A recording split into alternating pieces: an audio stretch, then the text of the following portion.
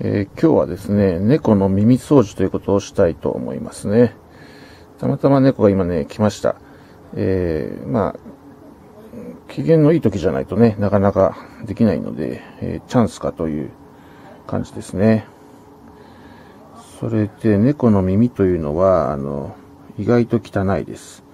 こうやって耳垢がついてますね。これを綿棒で取るということですね。少しうちの猫を紹介しますが、特徴としてこのお腹にね、毛がないっていうことですね。なぜこのお腹に毛がないかと言いますと、かなり太っ、えー、お腹に毛がない理由は、非常に太っていますので、歩くと、あの、お腹が地面にするんですね。そういうことで、まあ、お腹に毛がないということだと思いますね。さあ、それでは片手でカメラを持ちながら耳掃除ということで非常に難易度高いんですが、やってみましょ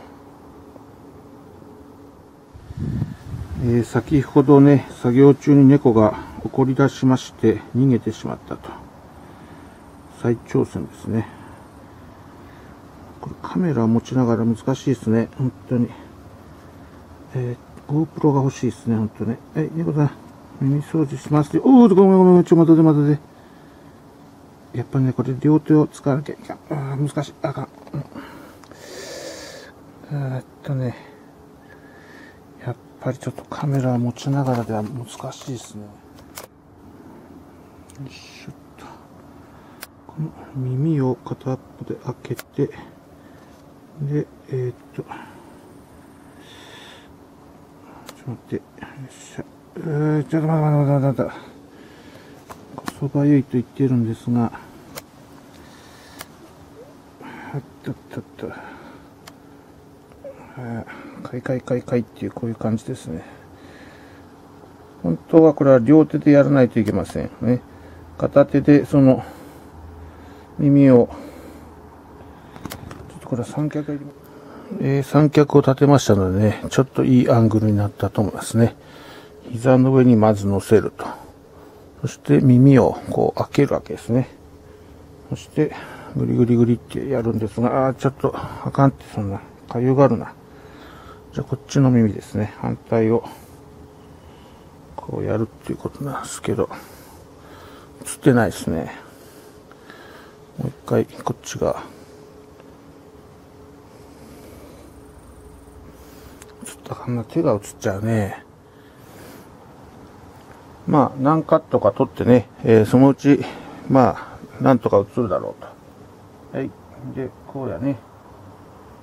耳掃除します。はい。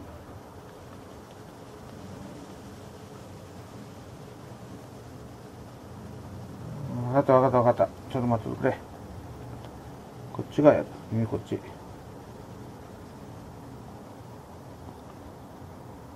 どうなのかな。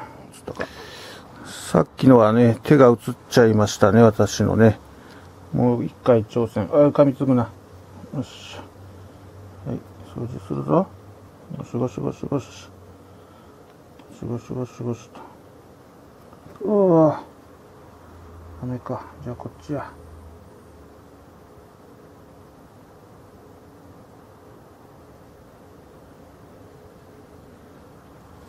捨てないね、これ。はいこっち、はい、こっちこれで映ったか。よっしゃ。ああ、ダメやな。うん。なかなかね、やっぱりこのカメラにこう映しながらって難しかったですね。いつもですとあの普通に耳掃除しましてね、本人も喜ぶんですが、ちょっとやっぱりね、動画にするのは難しかったですね。えー、特にまあ申し訳ございません。この片目がない猫やもんで、こっち側だけですね。ビジュアル的にこの、こちら側だけの顔だけ映そうと思っているので余計その作業しづらいんですけど、まあそういうことでですね、まあ猫の耳掃除を、まあうまく取れてよかったんですが、まあこれ以上やるとね、猫が怒り出しますんで、まあこのぐらいにします。以上です。